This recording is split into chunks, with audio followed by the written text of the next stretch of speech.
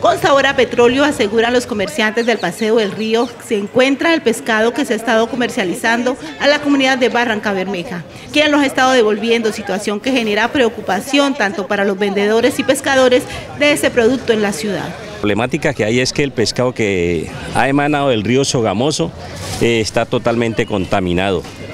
Eh, de verdad pues le pedimos disculpas a la comunidad porque...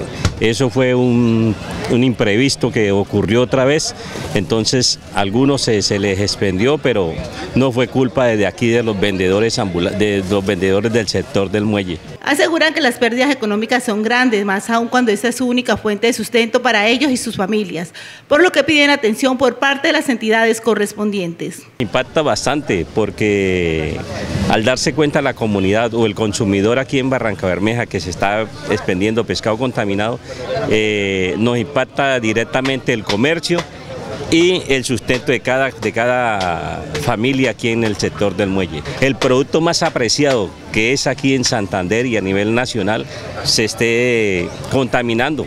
Por su parte, Leonardo Granados asegura que la contaminación de algunos caños por trabajos adelantados con hidrocarburos y al parecer eso serían las causas de que el pescado salga en estas condiciones. Ecopetrol es el único responsable de la contaminación de caño muerto, caño de la lizama, que además están haciendo trabajos eh, donde están haciendo presión con chorro de agua en caño muerto haciendo acciones de recontaminación con una técnica arcaica que ya no se utiliza porque efectivamente aumenta los niveles de contaminación y fruto de esas presiones que están haciendo, como lo evidencian ustedes en los videos, eh, el pescado está saliendo del río Sogamoso.